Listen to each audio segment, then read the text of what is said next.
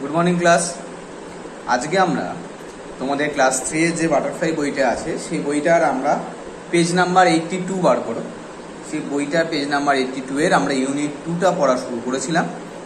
Unit two এ ছিল aquatic animals আগের দিন পর্যন্ত তোমরা জেনেছিলে কি? যে অ্যাকোয়াটিক অ্যানিমেলস কাদের বলে? এবং মাছ এক ধরনের অ্যাকোয়াটিক অ্যানিমেলস এবং তারা জলে থাকে। জলে থেকে কি করে শ্বাস প্রশ্বাস নেয়? সেগুলো তোমরা জেনেছিলে, এবং তারা জলে কি করে নড়াচড়া করে। আচ্ছা এরপর তোমরা জেনেছিলে কি? যে জলে যে মাছগুলো থাকে, তাদের আমরা দুভাবে ভাগ করতে পারি। একটা হচ্ছে কি আমাদের স্যালাইন ওয়াটার ফিশ মানে যারা নোনা জলে থাকে একটা হচ্ছে ফ্রেশ ওয়াটার ফিশ অর্থাৎ যারা মিষ্টি জলে থাকে। এরকম দুটো ভাগ আমরা মোটামুটি করেছিলাম। এরকম দু তিনটে রকম ভাগ আমরা করেছিলাম। এরপর যেটা আর কি দেখেছিলে যে এরপরও কিছু কিছু মাছ আছে যারা কিনা নোনা জলে থাকে, এবং তারপরেও তারা ডিম পাততে মিষ্টি জলে আসে। তারপর দেখেছিলাম যে চিংড়ি মাছ আমরা সাধারণত বলি যে চিংড়ি আসলে মাছ নয়। চিংড়ি আসলে এক ধরনের পোকা। এবং কেন সেটা পোকা, মাছের থেকে তারা কোথায় আলাদা, সেটাও আমরা জেনেছিলাম। আজকে আমরা করব তার পর থেকে। মানে আমরা ফোর্থ প্যারাগ্রাফ চার নম্বর প্যারাগ্রাফ থেকে পড়া শুরু করব page number eighty two A. One day Hamid's father found a crab in the net. Crab কথার অর্থ ক্র্যাব কথার অর্থ হচ্ছে কাঁকড়া। তোমরা অনেকেই আশা করি কাঁকড়া দেখেছ।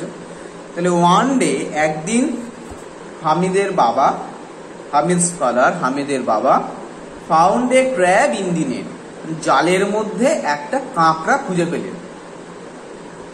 Hamid saw that the crab has pincers pincers মানে দাঁড়া। মানে কাঁকড়ার যে দানা, যেটা দিয়ে তারা কামড়ে ধরে, কাঁকড়ার দ্বারা, অনেকে তোমরা কার্টুনে দেখেছ, বা যে যারা সত্যিকারের কাঁকড়া দেখেছ, তারা নিশ্চয়ই দেখেছ কাঁকড়ার দাঁড়া আছে, এরকম একটা মতো থাকে দাঁড়া তারা কাপ এটাকে আবার নিয়ে যেতে পিনসাস মানে যারা যেটা দিয়ে আঁকড়ে ধরে পিঞ্চ করতে পারে, ফুটো করতে পারে পিনসাস বলে। ঠিক আছে Hamid saw that the crab has pincers Hamid দেখলেও কি যে কাঁকড়ার দাঁড়া রয়েছে। It can pinch with pincers এটা সেই দাঁড়া দিয়ে ফুটো করতে পারে পিঞ্চ করতে পারে কোনো জিনিস। ফুটো করতে পারে। হিজ ফাদার টোল্ড হিম তার বাবা তাকে বললেন, কি বললেন? দ্যাট যে there are no bones in a crab's jointed leg কাঁকড়া তোমরা ছবিটা দেখতে পাচ্ছ, আশা করি এই এই এই ছবিটা এই ছবিটা ছবিটা এই ছবির মতো কাঁকড়া তোমরা দেখেছ। এবং এই কাঁকড়ার যে দেখব শক্ত শক্ত পা থাকে। দেখো, আরশোলারও শক্ত পা থাকে, চিংড়িরও পা থাকে, কিন্তু আরশোলা চিংড়ি এত শক্ত পা থাকে না। কিন্তু কাঁকড়ার যে শক্ত পা এটা কিন্তু তার খোলস। খোলসের জন্য এত শক্ত, এর কিন্তু কোনো রকম হার নেই। তাহলে হামিদের বাবা তাকে তাই বলল, কি বলল? যে there are no bones in a crabs jointed legs jointed মানে কাঁকড়ার যে যুক্ত পা, বা যুক্ত মানে এরকম একটা একটার সাথে যুক্ত। যে, এই যে যুক্ত পা, এই যুক্ত পায়ে কিন্তু যে কাঁকড়ার কোনো ধরনের হাড় থাকে না, হাড় থাকে না। হামিদ স, হামিদ দেখতে পেল। That the jointed legs have hard outer cover মানে খোলস হার্ড আউটার মানে শক্ত উপরের একটা স্তর, আবরণ। মানে খোলস বলতে পারি যেটা আমরা সাধারণত খোলস বলি। যে আমি দেখল কি? যে পাগুলো একটা বাইরের শক্ত আবরণ দিয়ে আবৃত। When the rains came Hamid heard the croaking of frogs croaking মানে হচ্ছে ব্যাঙের ডাক। ক্রোক মানে হচ্ছে ব্যাঙের ডাক। মানে ব্যাং গ্যাঙর গ্যাং করে ডাকে যেটা বাংলা আমরা বলি ইংরেজি সেটাকে বলা হয় ক্রোকিং তাহলে ওয়েন দি রেইনস কেম যখন বৃষ্টি এলো, হামিদ হার্ড হামিদ শুনতে পেল, দেখো দুটো হার্ডের মধ্যে পার্থক্য ঠিক আগের লাইনে আমরা পড়লাম হার্ড আউটার কভার আর এখানে হার্ড মানে শক্ত বা কঠিন, আর এখানে hard H A R D hard hard মানে এখানে শুনেছিল। হামিদ শুনতে পেয়েছিল, কি শুনতে পেয়েছিল? দি ক্রোকিং অফ ফ্রক্স ব্যাঙেদের আওয়াজ, ব্যাঙেদের গ্যাঙর গ্যাং আওয়াজ হামিদ শুনতে পেয়েছিল।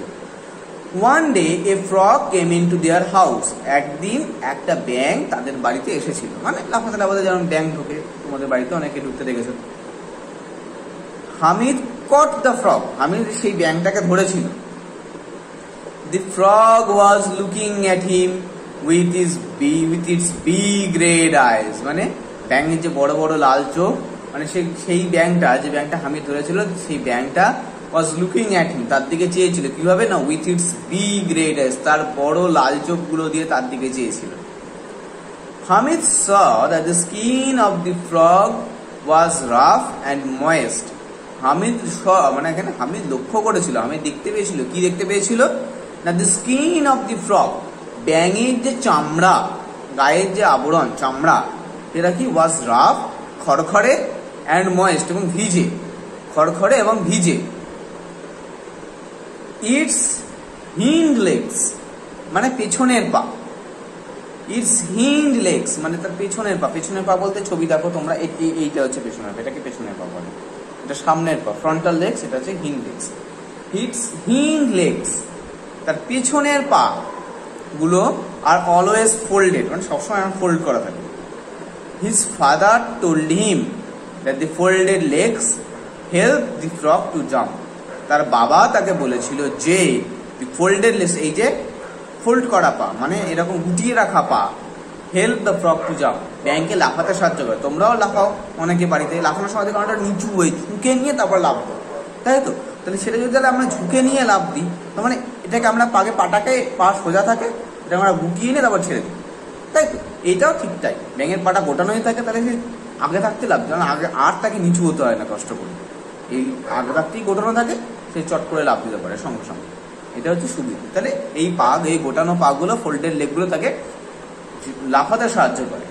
The front legs are small front leg ছবিতে আগে দেখিয়ে দিয়েছি। মানে সামনের যে দুটো পা, সামনের যে পাগুলো হচ্ছে ছোট পা। He also saw that the frog has toes like him toes মানে পায়ের পাতা। পায়ের পাতা মানে হাতের পাতা দেখাচ্ছে, হাতের পাতাকে বলে পাম ইয়ে এল এম পাম। কিন্তু পায়ের পাতা, পায়ের পাতাকে বলা হয় তাকে টোজ। তাহলে ঠিক আছে?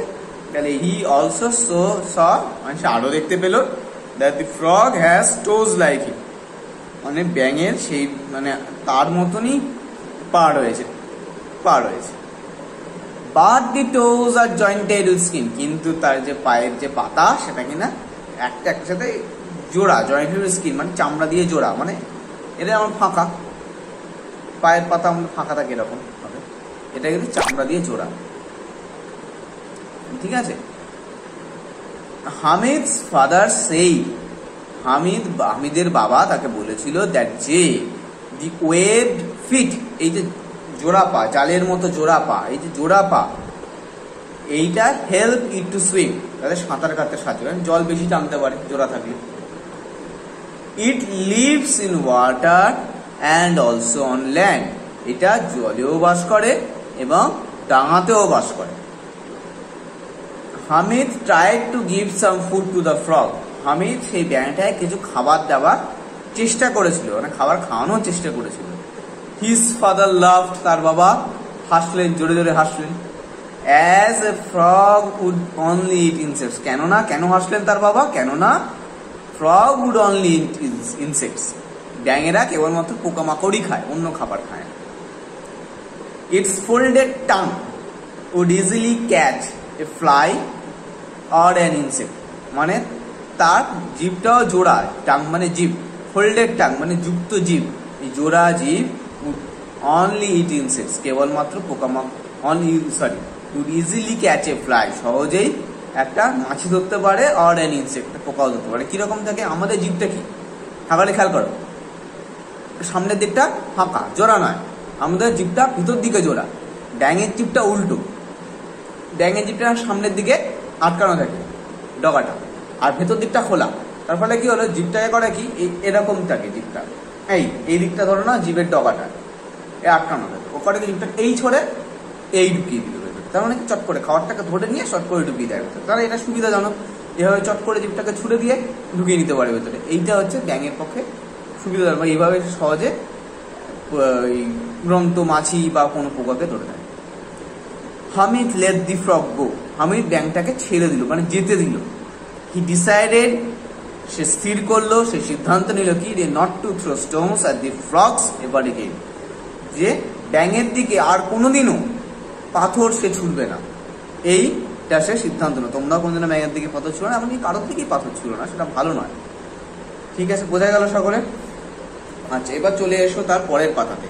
পরের পাতাতে দেখো কিছু অ্যাক্টিভিটি রয়েছে activity four five six four five six ফোরে দেখো এখানে ভাগ করতে হচ্ছে হ্যাঁ স্কেলস আচ্ছা স্কেলস মানে তোমরা কিন্তু মারা স্কেল পাবো না, যদিও বানান এক উচ্চারণ এক এখানে স্কেল মানে হচ্ছে আঁশ। আঁশ, মাছের আঁশ যেরকম হয়।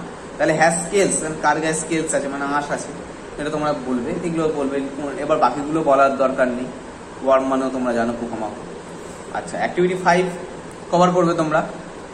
ফিল ইন দ্য ব্ল্যাঙ্কস করে, যে কীভাবে কোনগুলো হয়, দেখাবে করে সেন্টেন্স আচ্ছা activity six activity six make sentence করতে বলেছে। নিজে থেকেই চেষ্টা করবে। কেউ আমাকে করে দিতে বলবে না। প্রত্যেকে নিজে থেকে চেষ্টা করবে। হ্যাঁ যেটা আমি বলতে পারি, তোমরা ছোট ছোট বাক্য ভাববে। সেন্টেন্সগুলো শেয়ার করার সময় লেখা থাকবে প্লুরাল ভার্ব ব্যবহার করছ না সিঙ্গুলার ভার্ব ব্যবহার করছ, এগুলো খেয়াল রাখবে। আর একটা কি? এক, দুই, তিন, চার, এইভাবে মার্কিং করে করবে না। একটা গল্প, একটা প্যারাগ্রাফ যেরকম লেখা আছে, বইতে যেরকম দেখলে প্যারাগ্রাফ লেখা, ওই রকম ভাবে লিখব। বইতে কি এক, দুই, তিন, চার করে লেখা নেই তো? নেই। তোমরা কিন্তু ভাবে লিখবে না। এই অভ্যাস খুব খারাপ। এটা করবে না। চারটে সেন্টেন্স লিখতে বলে যে চারটে বাক্য, চারটে বাক্যই তোমরা লেখো। পাঁচটা কেউ লিখতে পারলে আরও ভালো, ছটা লিখতে পারলে আরও ভালো। যদি কোনো চারটে লিখবে, চারটেই লেখো। কিন্তু যেটা করবে এক, দুই, তিন, চার করবে না। একটা প্যারাগ্রাফ যেরকম লিখতে হয়, ঠিক সেরকম ভাবে লিখবে। বইতে যেরকম প্যারাগ্রাফ লেখা হয় ওরকম ভাবে করবে ঠিক আছে, বোঝা গেল? এই এত পর্যন্ত কাজ, আজ এই পর্যন্ত থাক।